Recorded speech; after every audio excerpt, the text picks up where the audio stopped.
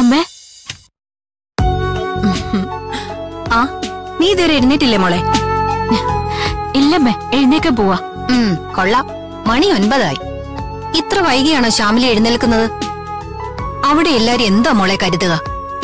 ഏയ് എന്നും ഞാൻ നേരത്തെ എഴുന്നേക്കുന്ന അമ്മേ. ഇന്നലെ രാത്രി വർത്തമാനം പറഞ്ഞ് ഒത്തിരി വൈകിട്ടാ കിടന്ന്. അതുകൊണ്ട് ഉറങ്ങിപ്പോയതാ.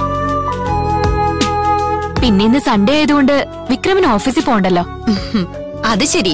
അവനും കിടന്നുറങ്ങുകയാണല്ലേ അതെ ദേവിടെ കൂർക്കം വലിച്ച് കിടന്നുറങ്ങുക ഫോൺ അടിച്ചതോ ഞാൻ എഴുന്നേറ്റതോ ഒന്നും അറിഞ്ഞിട്ടില്ല. വേഗം എഴുന്നേറ്റ് റെഡിയാവും രണ്ടാളും. ഇനി രണ്ടും കൂടി ഒരുങ്ങിയിറങ്ങി എത്തുമ്പോ ഒരു നേരമാവല്ലോ ഇല്ലമ്മേ പെട്ടെന്ന് വന്നോളാം. ആ ഇവിടെ നിനക്കായി ഒരു സർപ്രൈസ് കാത്തു വെച്ചിട്ടുണ്ട്. നിന്റെ അച്ഛനും ഞാനും. സർപ്രൈസോ? എനിക്കോ? എന്താ അമ്മേ? അതെ നീ വരുമ്പോ അറിഞ്ഞാ മതി. എനിക്കറിയാം. ഞാൻ പറയട്ടെ. പഴം പായസം? പഴംപായസം മാമ്പഴ പുളിശ്ശേരിയൊക്കെ ഉണ്ട്. പക്ഷേ സർപ്രൈസ് എന്ന് ഞാൻ പറഞ്ഞത് അതൊന്നും അല്ല. അത് നീ കണ്ട ശരിക്കും ഞെട്ടുന്ന ഒരു സർപ്രൈസ് തന്നെ. എന്നാലും എന്താ അമ്മ? ഒന്ന് പറയാമേ പറയുന്ന പ്രശ്നമേ ഇല്ല. നിനക്കത് എത്രയും നേരത്തെ അറിയാൻ ഒരു മാർഗമേ ഉള്ളൂ. എന്താ അത് വിക്രമിനെയും കൂട്ടി നേരത്തെ ഇങ്ങെത്തുക അത്ര തന്നെ. ഈ അമ്മയുടെ ഒരു കാര്യം. എന്നാ ശരി ഞങ്ങൾ വേഗം റെഡിയായിട്ട് ഇറങ്ങാൻ നോക്കട്ടെ. ശരി മോളെ.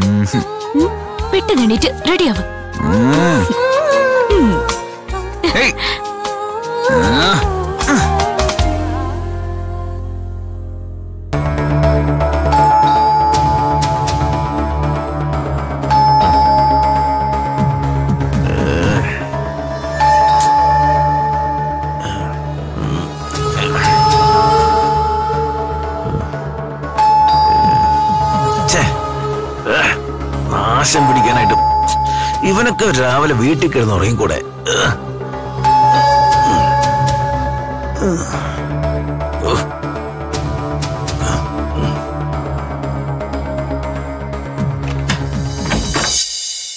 അയ്യോ അമ്മേ. അമ്മ എന്താ ഇവിടെ? അതെന്താ? ഞാൻ വരാൻ പാടില്ലാത്ത സ്ഥലമാണോ ഇത്? അയ്യോ അങ്ങനെയൊന്നുമല്ല.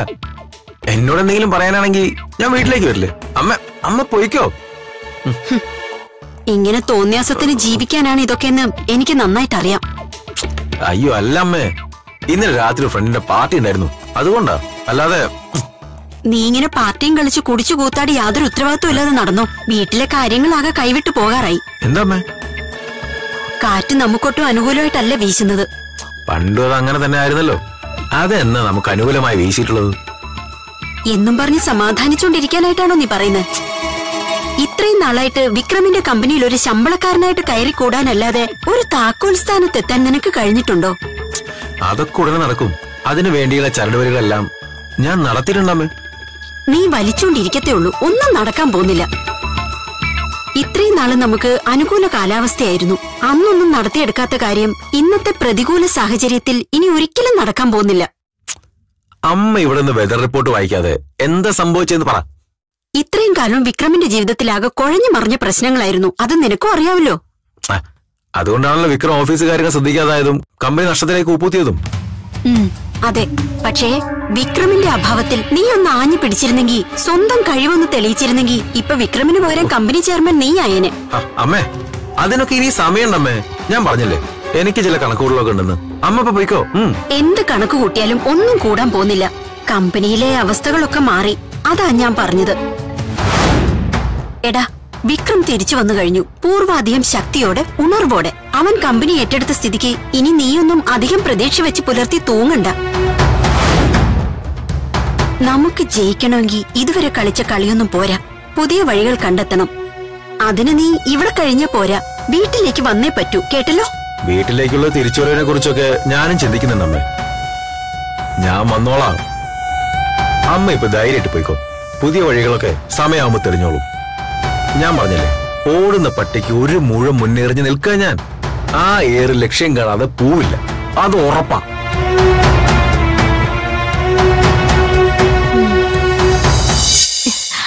അമ്മേ? അച്ഛാ? എത്തിയോ രണ്ടാളും? ബാലേട്ടാ? ബാലേട്ടാ ദേ അവർ വന്നു. അമ്മേ? ഉം, സുഖമാണോ മോനെ? അതെ അമ്മ. വന്ന കാലം നിൽക്കാതിരിക്കെ വാ. ഞാനേ ഒന്ന് കുളിക്കാൻ കയറിയതാ. നിങ്ങൾ കൃത്യസമയത്ത് തന്നെ വന്നല്ലോ. അകത്തില്ലേ? എന്താ അമ്മേ? ആരാകത്ത് ശാലിനി ആയിരിക്കും. അവളൊന്ന് പുറത്തേക്ക് വരാത്തെ. ശാലിനി ശാലിനി. അവളിവിടെ ഇല്ല. അവൾ കോളേജിൽ പോയതാ. ഇനി ആശാനെ വൈകിട്ട് നോക്കിയാച്ചാ മതി. പറയുമ്പേ എന്തുണ്ട്? എന്താ? ഞാൻ നിന്നോട് ഫോണിൽ പറഞ്ഞ കാര്യം മറന്നോ? ആഹാ അത് കൊള്ളാം. സർപ്രൈസിന്റെ കാര്യല്ലേ? അത് ഞാൻ മറക്കും? ഇവളതും പറഞ്ഞോണ്ടിരിക്കായിരുന്നു ഇവിടെ എത്തും വരെ. എന്നിട്ട് നിങ്ങളെയൊക്കെ കണ്ടതും മറന്നു തോന്നുന്നു. ഇല്ല മറന്നിട്ടില്ല. ഇല്ലേ? വന്നിറങ്ങിയല്ലുള്ളൂ പിന്നെ ചോദിക്കാന്ന് വെച്ചിട്ടാ. പറയമ്മേ എന്താ സർപ്രൈസ്? എന്നാ പിന്നെ ആ സർപ്രൈസ് അങ്ങ് പൊളിച്ചേക്കാം അല്ലേ ബാലേട്ടാ. കുറച്ചുകൂടെ കഴിയട്ടെ ലക്ഷ്മി. എന്താ അമ്മേ പറ. ദേ നോക്ക്.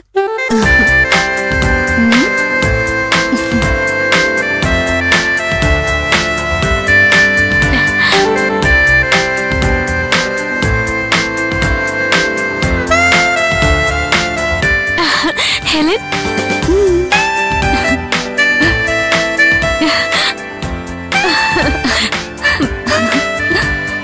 അപ്പൊ നീ എന്നെ മറന്നിട്ടില്ല അല്ലേടി? നിന്നെ മറക്കൂടി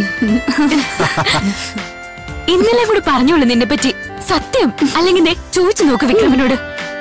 വിക്രം ദാ ഇതാ ഞാൻ പറഞ്ഞ കക്ഷി. ഹായ് ഹെലനെ കുറിച്ച് പറഞ്ഞു തുടങ്ങിയ പിന്നെ ശ്യാമിലി പിന്നെ നിർത്താറില്ല. അതുകൊണ്ട് കേട്ട് കേട്ട് നല്ല പരിചയം പോലെ ആ ലക്ഷ്മി എന്നാ ഇനി വൈകണ്ട. പെട്ടെന്ന് ഊണ് വിളമ്പ്. ഇനി ഭക്ഷണം കഴിഞ്ഞിട്ടാകാം സംസാരം. അമ്മ പായസം എന്താ? പായസം ഒന്നല്ല. ഇന്ന് നാലിനം പായസം കുട്ടിയുള്ള സദ്യ തയ്യാറാക്കി ആ മോളെ സ്നേഹം പങ്കിടാൻ എല്ലാവരും കൂടി ഒത്തുകൂടുന്ന ദിവസമല്ലേ? ആഘോഷത്തിന് ഒരു കുറവും വരുത്തണമെന്ന് ഞാൻ ആന്റി ഹെൽപ്പ് ചെയ്യാൻ ഞങ്ങളും കൂടെ കൂടട്ടെ. വേണ്ട വേണ്ട. വിളമ്പി വെച്ചിട്ട് വിളിക്കാം. മക്കൾ കഴിക്കാൻ മാത്രം അങ്ങോട്ട് വന്നാ മതി.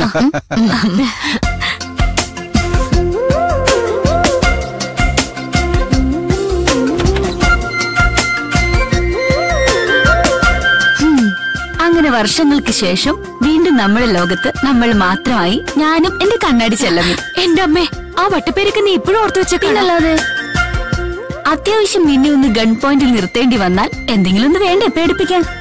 ഞാൻ നിന്റെ കാല പിടിക്കാം. ശാലിനെ അറിയാതിരുന്ന മാത്രം മതി. അല്ലെങ്കിൽ അവൾ എന്റെ കളിയൊക്കെ കൊന്നു കളയും. നോക്കട്ടെ നമുക്ക് ആലോചിക്കാം. നീ എന്നെ അങ്ങനെ ദ്രോഹിക്കില്ല എന്നൊക്കെ എനിക്കറിയാം. പണ്ട് സ്കൂളിൽ വെച്ച് നീ എന്റെ സീനിയർ ആയതിന്റെ പേരിൽ നീ ആയിരുന്നല്ലോ എന്റെ സംരക്ഷക നമ്മുടെ സ്കൂൾ ലൈഫിലെ നല്ല നിമിഷങ്ങളൊന്നും ഞാൻ മറന്നിട്ടില്ല ശ്യാമിലി. എങ്ങനെ മറക്കും? നീ എന്റെ ബെസ്റ്റ് ഫ്രണ്ട് അല്ലേ. ഈ ഉപദ്രവിക്കുന്ന സ്വഭാവം മാത്രമേ ഇനി മാറിയിട്ടില്ല അല്ലെ?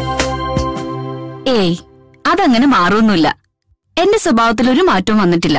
I'm still the same Helen കാണാൻ നല്ല മാറ്റം വന്നിട്ടുണ്ട്. ഒത്തിരി മെച്യൂരിറ്റി ആയ പോലെ. വെസ്റ്റേൺ ലൈഫ് സ്റ്റൈൽ അല്ലേ? ജങ്ക് ഫുഡും കോക്കുമാണ് പ്രധാന പ്രശ്നം. ഇനിയിപ്പോ നാട്ടി വന്നല്ലോ. ഇനി വേണം ജിമ്മിങ്ങിനൊക്കെ പോയി സുന്ദരിയാവാൻ. നിനക്ക് പിന്നെ വലിയ മാറ്റമൊന്നുമില്ല. ഇത്തിരി ഗൗരവം കൂടിയിട്ടുണ്ട്. സാഹചര്യങ്ങളല്ലേ ഹെലൻ? ഈ കാലഘട്ടത്തിൽ ഞാൻ അനുഭവിച്ചതൊക്കെ പറഞ്ഞ പത്ത് നോവൽ എഴുതാനുള്ള കഥയുണ്ട്. അമ്മ പറഞ്ഞില്ലേ ഒന്നും? ഓ. അപ്പൊ നീ ചോക്ലേറ്റ് ഉണ്ടാക്കലും കാറ്ററിംഗും ഒക്കെ നിർത്തിയിട്ട് നോവൽ എഴുതാൻ പോവാണോ? പോടാ. എന്തെങ്കിലും ഒരു കാര്യം വായിന്ന് വീണാ പിന്നെ അത് മതി. അത് പിടിച്ചങ്ങ് തുടങ്ങിക്കോളും കളിയാക്കാൻ. ഈ ഒരു കാര്യത്തിലെ വിക്രവും നീ തമ്മിൽ യാതൊരു വ്യത്യാസമില്ല ആ അത് പറഞ്ഞപ്പോഴാ. പറ പറ. എങ്ങനെയുണ്ട് നിന്റെ ആൾ? കണ്ടിട്ട് നിനക്ക് എന്ത് തോന്നുന്നു? അത് പറ. ഇതുപോലെ. ഈന ബേച്ചിക്ക് മരപ്പട്ടി കൂട്ടെന്നൊക്കെ പറഞ്ഞ പോലെ കട്ട ചേർച്ച നിങ്ങൾ തമ്മിൽ. അയ്യടാ യു കെയിലും യു പഠിച്ചിട്ട് നാട്ടുമ്പുറത്തെ ഭാഷ വിട്ടിട്ടില്ല. അതൊക്കെ അങ്ങനെ പോവോടി. അതൊക്കെ നമ്മുടെ ബ്ലഡിൽ ഇങ്ങനെ അലിഞ്ഞു ചേർന്നിരിക്കല്ലേ. നിനക്കെന്നെ അറിയുന്നതല്ലേ ഉള്ളിന്റെ ഉള്ളിൽ നമ്മുടെ നാടും ഇവിടുത്തെ രുചികളും ഇവിടുത്തെ മനസ്സുകൊണ്ട് സംസാരിക്കുന്ന ഒരുപാട് സൗഹൃദങ്ങളും. പിന്നെ എന്നെ വളർത്തി വലുതാക്കിയ എന്റെ അച്ഛമ്മയും ഒക്കെ തന്നെ എനിക്ക് വലുത്. അപ്പൊ ഈ പറഞ്ഞാലൊന്നും ഞാനല്ലല്ലോ അല്ലേ? ദേ ഒരൊറ്റ ഇടി വെച്ച് നന്നാ കളിക്കൽ ഞാൻ മൂലയ്ക്ക് പോയി കിടക്കുവേ. പോടി ഇവിടുന്ന്.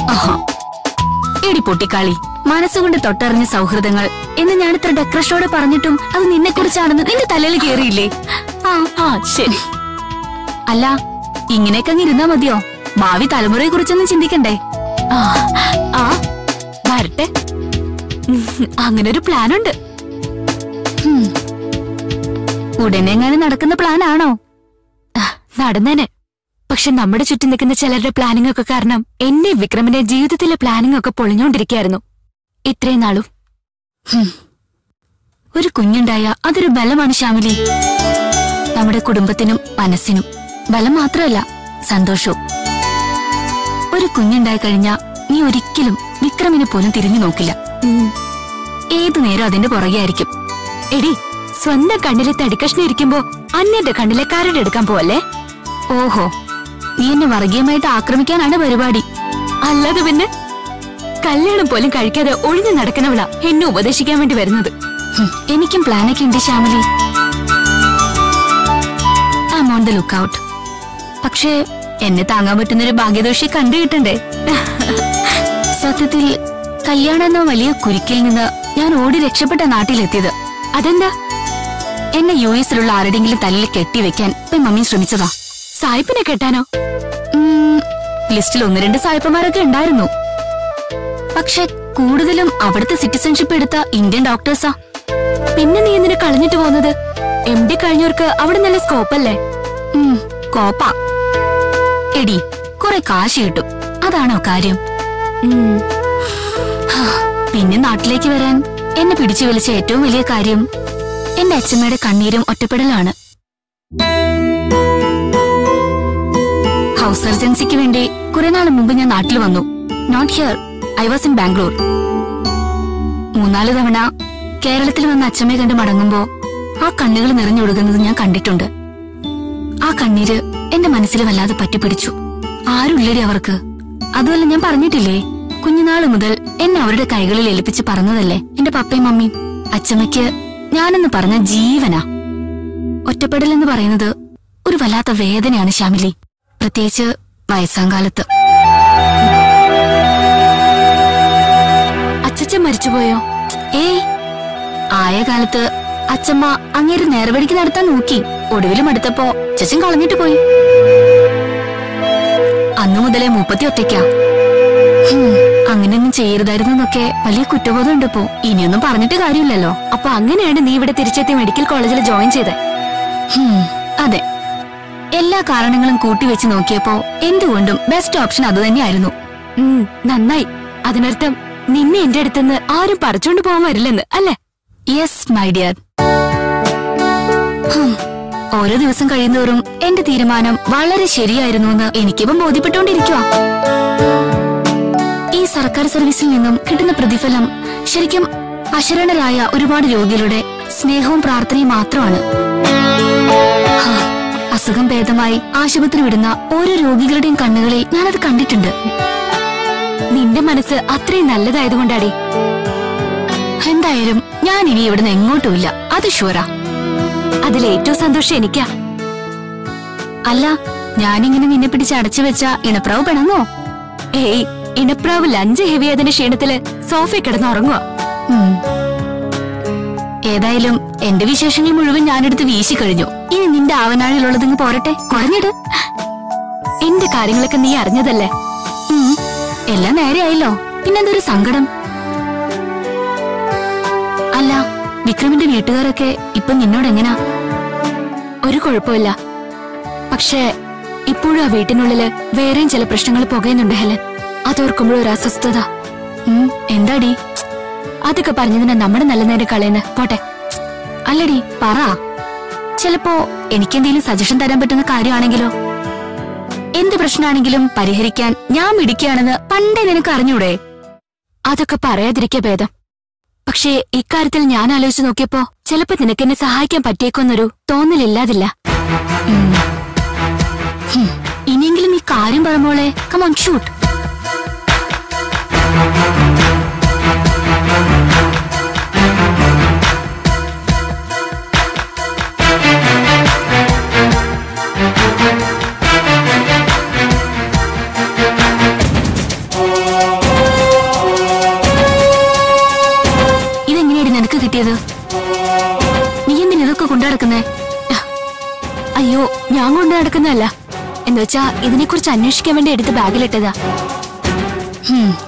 എന്താ കാര്യം?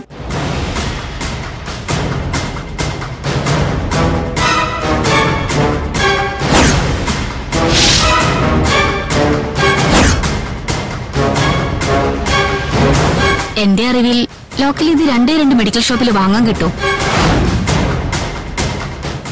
ഞാൻ പോകുന്നതിന് മുമ്പ് തന്നെ ആ കാര്യം ഞാൻ കൺഫേം ചെയ്തിട്ട് പറയാം. പിന്നെ ഇതെങ്ങനെ ഡെയിലി ധാരാളമായി വാങ്ങുന്ന മരുന്നല്ലാത്തോണ്ട് സ്ഥിരമായി ആരെങ്കിലും ഇത് വാങ്ങുന്നുണ്ടെങ്കിൽ അതറിയാൻ ഒരു ബുദ്ധിമുട്ടുണ്ടാവില്ല. നീ ഏതായാലും ധൈര്യമായിട്ടിരിക്കെ. വി വിൽ ഫൈൻഡ് ഔട്ട് ഞാനുണ്ട് നിന്റെ കൂടെ.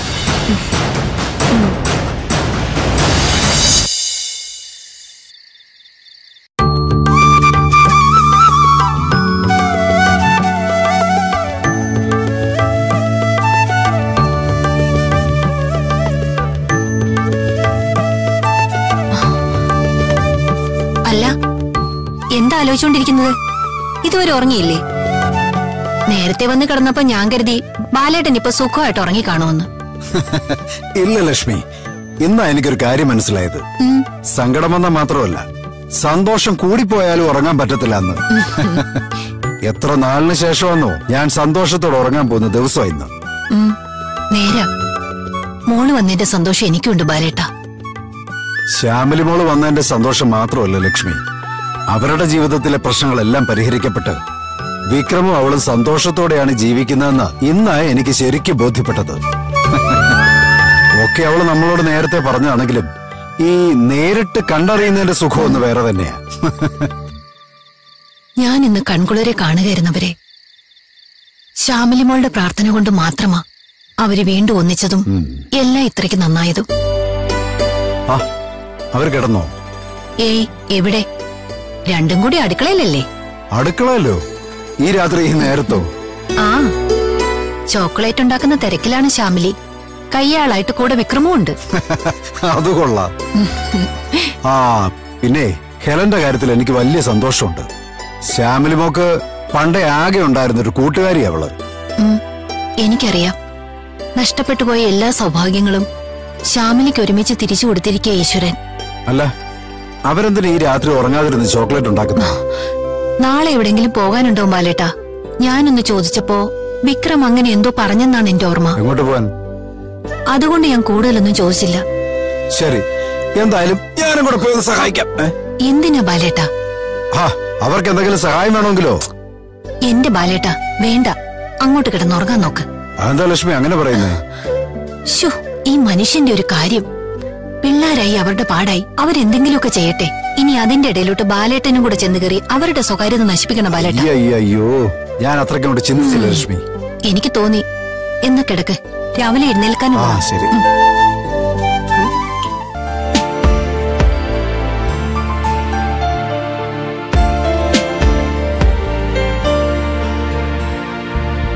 ഞാൻ ചെയ്തോളാം. വിക്രം പോയി കിടന്നോ. ഏയ് വേണ്ട. ഒരുമിച്ച് തുടങ്ങിയ ജോലിയല്ലേ? ഒരുമിച്ച് തന്നെ തീർക്കാം അല്ല ഞാൻ എത്ര നേരെ ചോദിക്കുന്നു? എന്തിനാ എന്നെ കൊണ്ടിപ്പോ ചോക്ലേറ്റ് ഉണ്ടാക്കിപ്പിച്ച്? ഒന്ന് പറ വിക്രം. ഞാൻ പറഞ്ഞല്ലോ. എന്തു പറഞ്ഞു സർപ്രൈസ് ആണെന്ന്. അതാണ് ഉത്തരം. ഒന്നുമില്ല ശ്യാമിലി നീ ചോക്ലേറ്റ് ഉണ്ടാക്കാനൊക്കെ മറന്നു പോയെന്ന് എനിക്കൊരു സംശയം. നിനക്ക് ആ പഴയ കൈപ്പുണ്യം ഇപ്പോഴുണ്ടോന്ന് എനിക്കൊന്ന് അറിയണല്ലോ. എന്തിനാ അറിയുന്നത് അതുകൊള്ളാം നമ്മളൊരു വലിയ സ്വപ്നം കാണുന്ന ആൾക്കാരല്ലേ? അത് നീ മറക്കരുത്. നിന്റെ പേരിലൊരു ബ്രാൻഡ് ഡെവലപ്പ് ചെയ്ത് അതിനെ ഒരു നാഷണൽ ലെവൽ മാർക്കറ്റ് ചെയ്ത് നിന്നെ ഒരു വലിയ മതി മതി മതി. അതൊക്കെ ഞാൻ നൂറ് പ്രാവശ്യം കേട്ടതാ. ബട്ട് ഐം സീരിയസ് അത് ചെയ്തിരിക്കും. സമ്മതിച്ചു. അതിന് എന്നെ കൊണ്ട് രാത്രി ചോക്ലേറ്റ് ഉണ്ടാക്കിപ്പിക്കേണ്ട കാര്യം എന്താന്ന് എനിക്കറിയണ്ടേ? ഇത് മറ്റെന്തോ കാര്യത്തിനാ? ഒന്ന് പറ വിക്രം. എന്താ സർപ്രൈസ്? ശരി. എന്നാ ഞാൻ ചെറിയൊരു സൂചന തരാം. ഒരു ക്ലൂ പക്ഷെ പിന്നീടൊന്നും ചോദിക്കാൻ പാടില്ല. സമ്മതിച്ചോ? ഓക്കെ? സമ്മതിച്ചു. പറ. നമ്മൾ നാളെ ഈ ചോക്ലേറ്റ് കൊണ്ട് ഒരു സ്ഥലം വരെ പോകും. അയ്യട ഇതാണ് ക്ലൂ ഇതാർക്കാ അറിയാത്ത? അതൊക്കെ ഞാൻ എപ്പോഴേ ഊഹിച്ചു. ഓഹോ അതെങ്ങനെ? പിന്നല്ലാതെ ഈ ചോക്ലേറ്റ്സ് നമ്മൾ എല്ലാവരും കൂടെ വീട്ടിലിരുന്ന് തിന്നു തീർക്കാൻ പോവാണോ? ഇതാർക്കോ കൊടുക്കാനാണെന്ന് എനിക്ക് മനസ്സിലായി. നേരാ അതൊരു പോയിന്റ് ആണ്. നിന്നെ ഞാൻ സമ്മതിച്ചിരിക്കുന്നു. വിക്രം ആർക്കാണെന്ന് പറ വിക്രം പ്ലീസ് ശരി. ഒരു ക്ലൂ കൂടി തരാം. പിന്നെ ചോദിക്കാൻ പാടില്ല. ഓക്കെ ആ ഇല്ല. വേഗം പറ. ആ നാളെ നമ്മൾ പോവാൻ പോകുന്നത് ഒരു നല്ല സ്ഥലത്തേക്കാ. നിന്നെ കുറച്ചു പേർക്ക് പരിചയപ്പെടുത്താനുണ്ട്. ആർക്ക്? എന്റെ ഫ്രണ്ട്സിന് അതാരാ? എനിക്കറിയാത്ത നിന്റെ ഇത്രയും വലിയ ഫ്രണ്ട്സ് ഇത് കള്ളകളിയാട്ടോ. ഞാനില്ല. എത്ര ക്ലൂ ഞാൻ തന്നു? ഇനി കൂടുതലൊന്നും ചോദിക്കാൻ പാടില്ല നീ സമ്മതിച്ചല്ലേ ഇനിയൊന്നും ചോദിക്കേണ്ട പറയുന്ന പ്രശ്നമേ ഇല്ല. അല്ല ഈ സർപ്രൈസും സസ്പെൻസും ഒക്കെ പറഞ്ഞ് നീ എന്നെ കുറെ ടെൻഷൻ അടിപ്പിക്കാറുണ്ടല്ലോ. അതുകൊണ്ട് ഇന്ന് രാത്രി നീ ഇതോർത്ത് ഉറക്കം കളഞ്ഞു.